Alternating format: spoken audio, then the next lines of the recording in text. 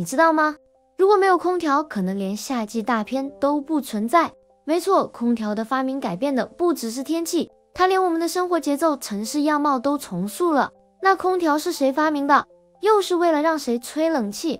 说出来你可能不信，最早的空调根本不是为了人类服务的。故事要从一九零二年说起。美国纽约有一家叫做萨克特印刷公司的地方，遇到了一个大问题：夏天一热，纸张就吸湿膨胀，油墨对不准颜色，印出来一团糊。印刷工人急到快疯了，客户也天天在催稿。于是他们找来了一个年轻工程师，年仅二十五岁，名叫威利斯·开利 （Willis Carrier）。开利那时候刚从大学毕业，是个标准理工男，喜欢研究空气的湿度。温度、气压这些别人觉得无聊的东西，但也正是因为这个无聊的爱好，他提出了一个疯狂的点子：我们能不能控制空气里的湿度，让纸张稳定一点？于是他设计出了一套系统，用冷却盘管让空气降温除湿，再把处理过的空气送进印刷车间。这套装置在一九零二年夏天正式启用，结果惊人，印刷精度提高了，客户满意度也提高了。于是。世界上第一台现代空调系统就这么诞生了。没错，它的目的根本不是降温，而是除湿。但开利的公司很快意识到，这套系统还太笨重、太贵。它使用的制冷剂是氨气，有毒且易燃，只能用在工厂和大型建筑。想要走进民用市场，必须找到更安全、更高效的冷媒以及更小型的压缩机。这个巨大的技术挑战成为了下一阶段的关键。更讽刺的是，那时候的人还不觉得这玩意儿有多重要。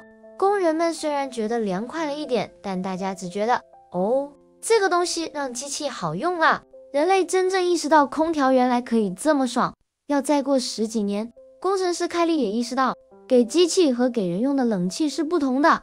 他继续深挖研究了温度、湿度、气流和辐射这四个要素对人体的影响，并在1911年发表了著名的湿度控制理论。后来又提出了舒适度曲线的图表，这套理论第一次让制造冷气变成了制造舒适，为后来家用空调的诞生铺平了道路。但一战爆发，开利的雇主决定退出空调业务。开利认为空调的未来是光明的，于是1915年，他与六位同事凑了三万两千美元，成立了开利工程公司 （Carrier Engineering Corporation）。这是一家纯粹为空气调节而生的公司。这标志着空调不再是某个企业的副产品，而成为了一个独立的、雄心勃勃的产业。进入一九一零年代，越来越多工厂开始使用空调来控温控湿，包括纺织厂、食品加工厂，甚至军火工厂。但这时候，空调依然是一种工业设备，不是给你我用的。但故事很快就有了转折。时间来到一九二零年代，美国经济快速成长。城市人口暴增，夏天越来越热，室内越来越闷。人们开始意识到，哎，为什么我在工厂里能吹到凉风，在家里却只能流汗？于是，有钱人最先出手。一九二零年代，纽约的百货公司、银行、餐厅开始尝试把工厂用的空调装到店里，结果一试成主顾，顾客疯狂涌进来吹冷气，顺便买东西，营业额竟然还提升了。很快，电影院也加入了空调革命。那时候的电影院夏天简直就是蒸笼，票房一到暑假就跳水。于是，一九二五年，纽约的派拉蒙电影院 （Paramount Theater） 安装了由开利公司设计的空调系统。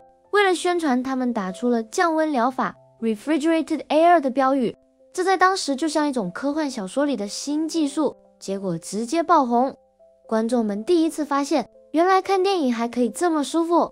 从此以后，每年夏天，大家抢着去看电影，顺便吹冷气，顺便约会。电影院的夏日营收从跳水变成了票房黄金档。空调虽然不是夏季大片诞生的唯一原因，但它绝对是最重要的助推器。它让影院可以在夏天坐满观众，让好莱坞敢于把最重磅的制作放在暑期上映，这才真正催生了我们今天所知的暑期大片文化。而就在这个时候，空调也开始走进普通人的日常生活。不过，早期的家用空调价格惊人，第一台真正意义上的窗式家用空调，直到一九三二年才上市。你知道它有多贵吗？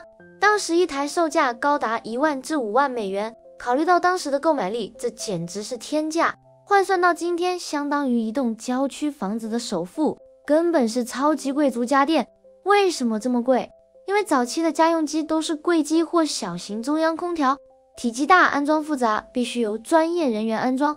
但真正的平民化转折点出现在一九三零年代末，一家名为通用电气 GE 的公司，以及后来的其他竞争者，开始研究一种一体化的可以挂在窗户上的小型空调。这正是我们今天熟悉的窗式空调的雏形。它大大降低了安装难度和成本，为二战后的普及做好了准备。真正让空调普及到普通家庭，是战后美国制造业大爆发。再加上新型冷媒发明、压缩机技术进步、生产成本下降，讲到这里，我们就得提到一个关键词：弗利昂 （Freon）。弗利昂 （Freon） 的诞生是杜邦公司 （DuPont） 的杰作，他们是为了取代当时冰箱和空调中使用的有毒冷媒，如氨丙烷等而发明的。弗利昂的出现，让制冷设备第一次真正变得对人体无害，这是空调能走进千家万户的安全革命。也是品牌方杜邦对人类生活的一大贡献。当时大家觉得这简直是完美冷媒，但问题也跟着来了。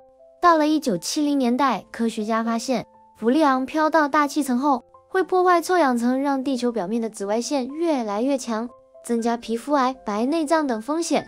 而且它在大气中能飘几十年，几乎不会自己分解。这个发现震惊全球。于是，一九八七年，各国签署了蒙特利尔议定书，开始逐步淘汰氟利昂，同时开发出更新一代的环保冷媒，让空调既能制冷又不再伤害臭氧层。在环保浪潮之前，空调还面临着另一个挑战——能源危机。一九七零年代的石油危机让美国乃至全球的能源成本飙升，人们发现空调是家中最耗电的电器之一，这迫使制造商们如大金、三菱等。开始投入巨额研发，关注能效问题，节能而不是单纯的制冷，成了新的技术竞赛方向。这也直接推动了变频技术 （inverter technology） 的成熟和普及，让空调能更精确、更省电力工作。所以，空调的进化不只是技术上的进步，某种程度上也是人类面对错误愿意修正的一种集体成长。而随着冷媒改良、价格下降、技术进步，到了一九五零年代。美国中产阶级开始批量买空调，甚至成了买房必备。空调的普及也悄悄改变了整个世界。像是美国南部以前天气太热，经济发展缓慢，但随着空调普及，城市开始吸引更多人口，经济开始腾飞，甚至改变了选举版图。再比如中东的新兴城市新加坡的办公大楼，马来西亚的室内商场没有空调。这些地方根本无法像今天这样密集的办公、生活和消费，甚至全球气候大会都是开在冷气房里的。但你有没有想过，全世界都爱冷气吗？我们刚才讲的普及故事主要发生在美国和亚洲。当你把目光投向欧洲，你会发现一个奇怪的现象：欧洲大部分国家为什么普遍不用空调？原因主要有这几个：第一，气候凉爽且热得短。欧洲大部分国家夏天气候凉爽。尤其像德国、英国、北欧等地，以前夏天白天二十五度已经算热，晚上还会降温，根本不需要空调。第二，历史建筑的限制，很多欧洲城市的房子是几十年甚至几百年前盖的，它们墙厚窗小，原本是为了冬天保暖、夏天隔热而设计。要为这种老建筑安装现代冷气系统，工程非常麻烦且昂贵。第三，电价和环保意识。欧洲电费比美国和亚洲许多国家贵得多，使用空调的成本很高，加上环保意识普遍较高，很多人宁愿选择用遮阳帘、自然通风、电扇等方式来降温，作为一种文化习惯和环保选择。第四，文化习惯不同，有些欧洲人觉得夏天就是要热一点，流汗正常，尤其老年人口多，对冷气反而觉得不习惯，容易感冒。不过这个局面现在也开始变了。随着极端气候加剧，像2022年、2023年，欧洲就连续爆热浪，不少国家空调销售暴增，尤其在法国、西班牙、意大利等地，年轻人开始装冷气了。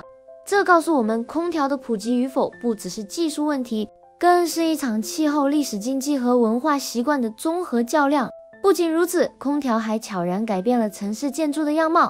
在空调出现之前，建筑设计需要考虑到通风遮阳。窗户要大，天花板要高。但有了空调，建筑师可以设计出密闭玻璃幕墙的大楼，外形更时尚，更节省空间。但完全依赖空调来生存，纽约的西格拉姆大厦，全球所有摩天大楼都成了这种空调依赖型建筑的典范。所以，空调看起来只是一个降温设备，其实它早就变成现代社会的基础设施。但故事还没有结束，随着全球气候变暖，空调的需求量正在爆炸式增长。未来几十年，全球的空调数量预计将突破五十亿台。新的争议出现了：空调在对抗热浪的同时，也消耗了巨大的电力，并排放了大量氢氟碳化合物 （HFCs）。虽然不破坏臭氧层。却是比二氧化碳强数百倍的强效温室气体。空调行业正在努力寻找下一代超低全球变暖潜能值 （Low GWP） 的冷媒，以及零能耗的创新制冷技术。我们以为自己选择了空调，但某种程度上是空调重新定义了我们的生活方式。好啦，今天的故事就讲到这边。下次你在吹冷气的时候，不妨想一想这一缕凉风背后。其实是一整段科技成人类社会的大变革。